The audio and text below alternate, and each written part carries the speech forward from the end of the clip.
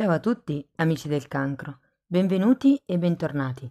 Io sono Ilaria e su questo canale parlerò di tarocchi, metafisica, spiritualità e quant'altro possa essere d'aiuto ad ognuno di noi per il proprio percorso di crescita personale e spirituale. Bene. Mostrami cancro, tendenze energetiche generali per la prima parte di aprile 2023.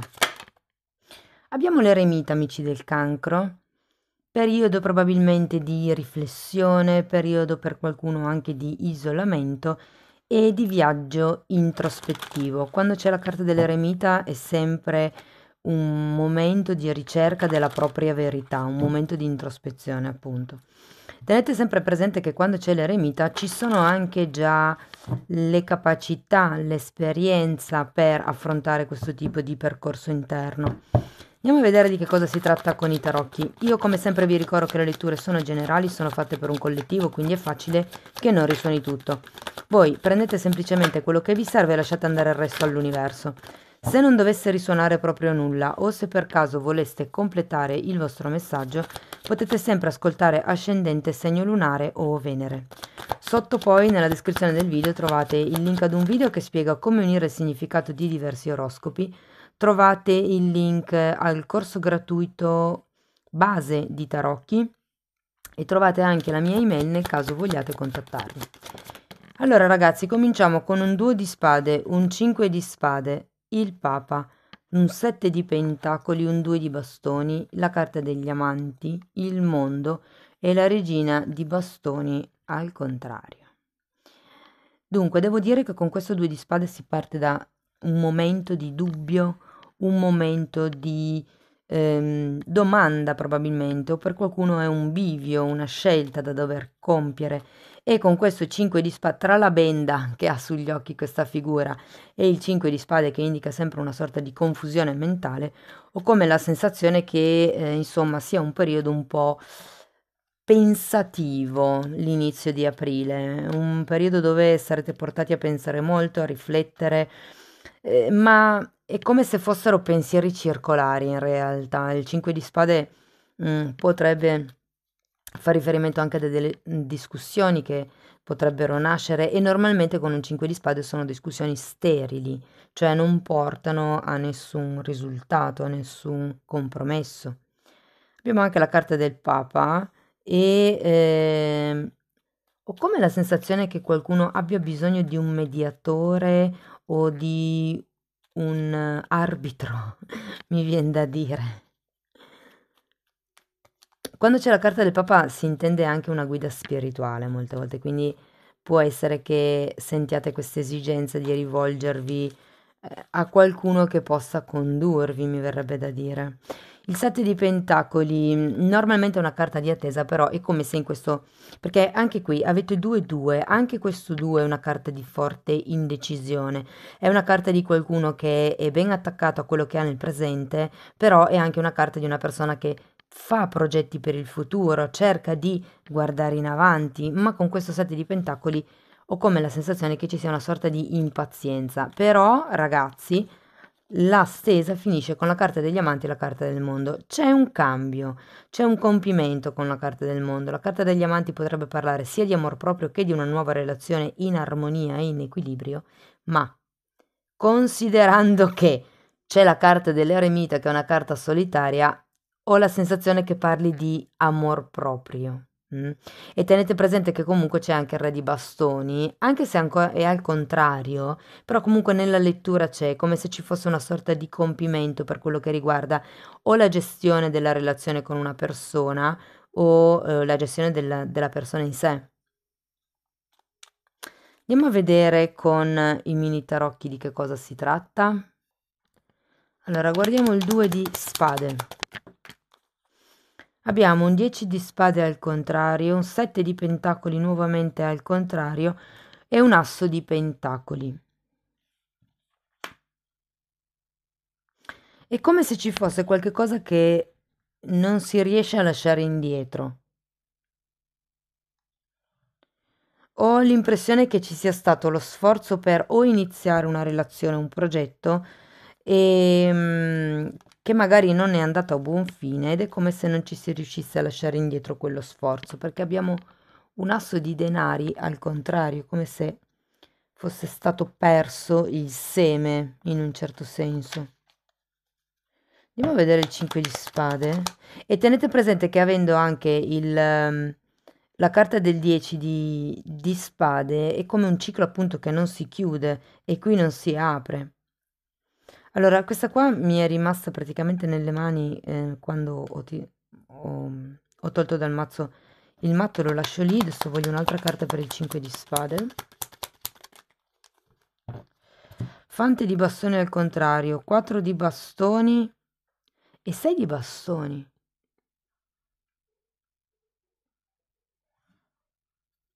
Allora, è come se da un lato ci fosse... Ehm, la volontà di andare avanti, la volontà di andare verso nuove avventure, di espandersi, di esprimersi, di trovare la propria stabilità.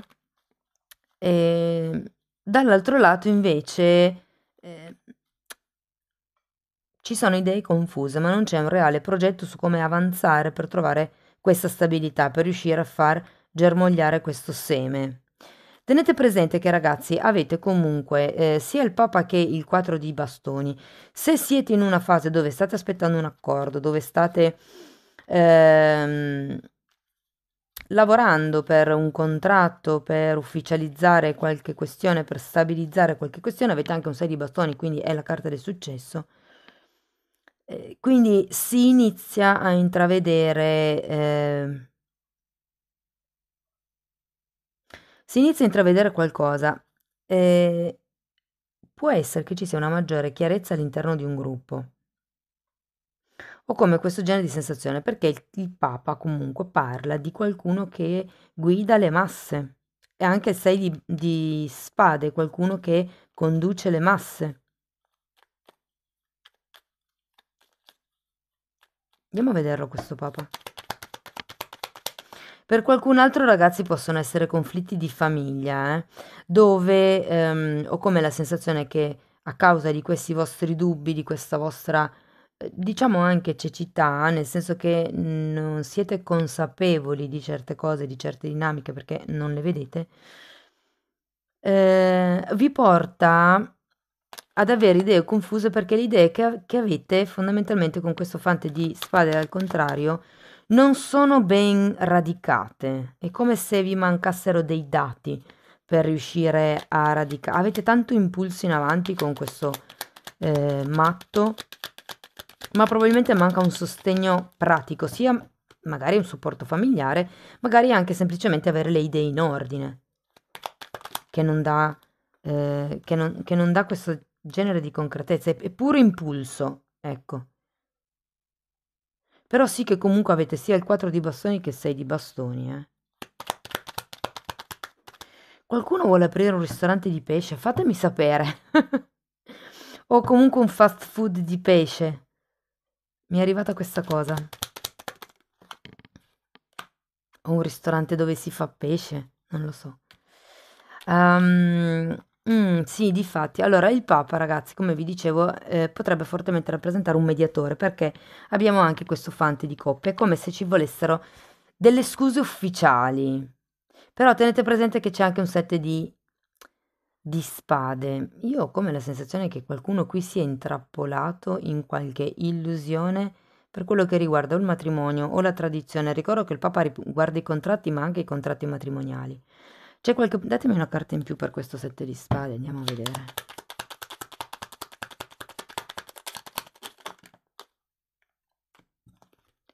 Sei di denari, tre di denari e re di bastoni, sì. E qualche cosa legata ad un progetto comune, ad un... La condivisione dei beni potrebbe essere.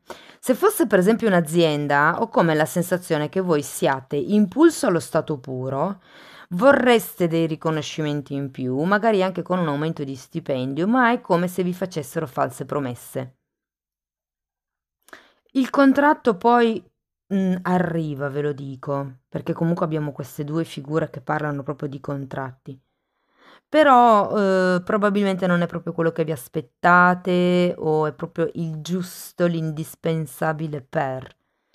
non c'è di più, non c'è un... un di più mi viene da dire. Andiamo a vedere il 7 di pentacoli. 6 di coppe e l'una al contrario. Interessante perché sono due carte che parlano di passato. Qui avevate il 7 di, eh, di pentacoli in effetti. Ho la sensazione che qualcuno, ragazzi, si sia stufato di aspettare qualche eh, offerta concreta, qualche passo certo. È come se avesse bisogno di qualcuno che appunto media, mette un punto e a capo eh, in quello che potrebbe essere questo nuovo inizio, questa nuova stabilità che state cercando. O anche un nuovo progetto magari per qualcuno. Andiamo a vedere due di bastoni.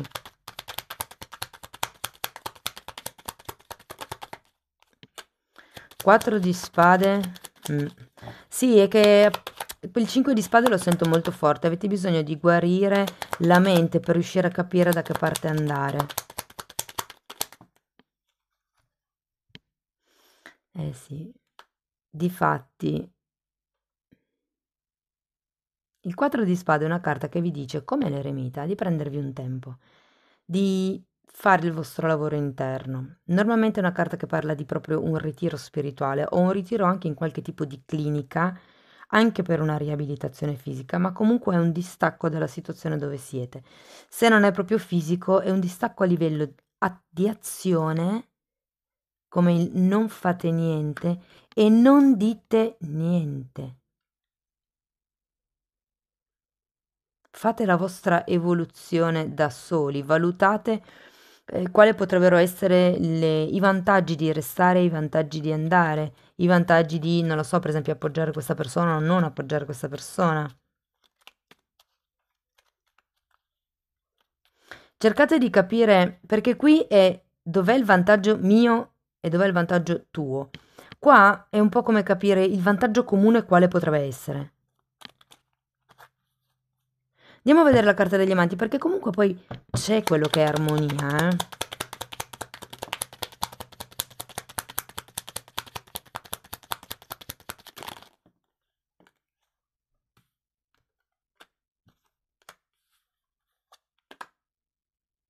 Mm.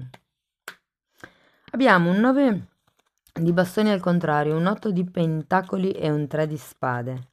È come se dovesse lavorare su questa sorta di dubbio, di ferita. Vi ricordo che qua iniziamo con un 10 di spade. Ehm, appunto, un po' de destressandovi, togliendovi lo stress, magari appunto con questo ritiro, con questo viaggio in solitaria, un po' cercando anche di abbassare le difese. Allora, è molto interessante perché nei tarocchi tradizionali, ehm, vediamo se lo trovo in questi qua piccini, la carta degli amanti normalmente è rappresentata come due figure nude. E questo sta a significare, eccolo qua, e questo sta a significare che per incontrare il vero amore, quello puro, bisogna mettersi a nudo l'uno nei confronti dell'altra o l'una nei confronti dell'altro. Okay, bisogna mostrare il il vero sé, mh? perché solo così la persona ci conosce al 100% e può innamorarsi di noi al 100%. E questa carta vi ricorda un po' di togliere certi muri, certi ostacoli, mh? certe strutture.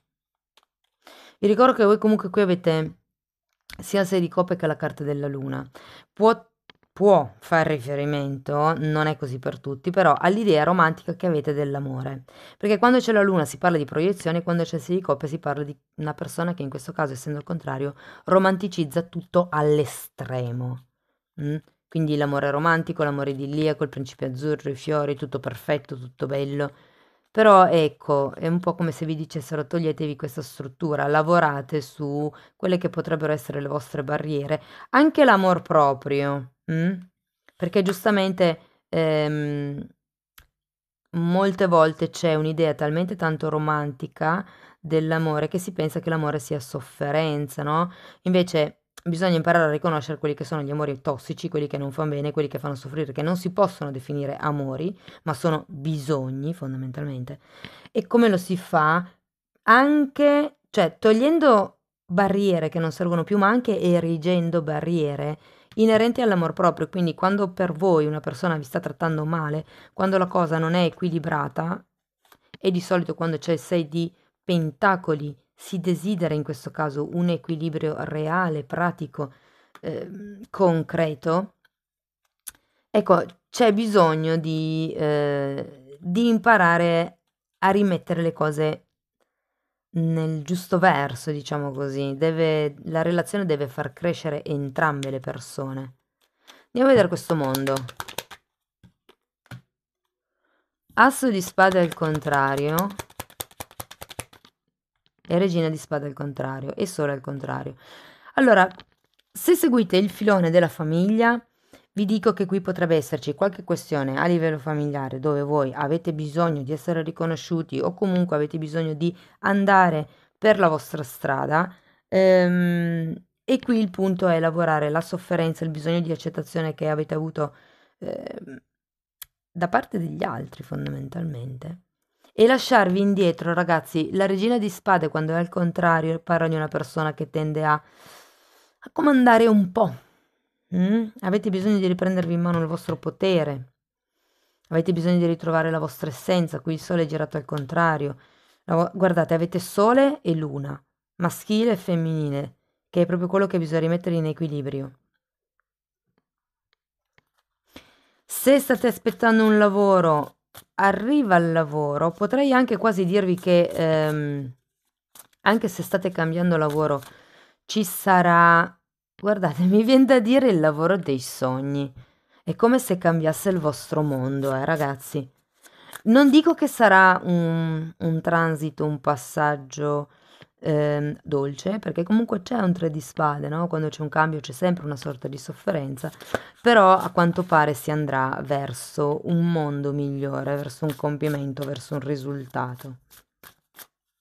Se per caso potete contrattare lo stipendio, chiedete il giusto, non credete alle false promesse. Quello che voi firmate è quello che sarà, ok? Se poi vi dicono, guarda, magari fra due mesi, eh, n- non avete la certezza. Quindi voi potete avere la certezza solo per quello che firmate in quel momento.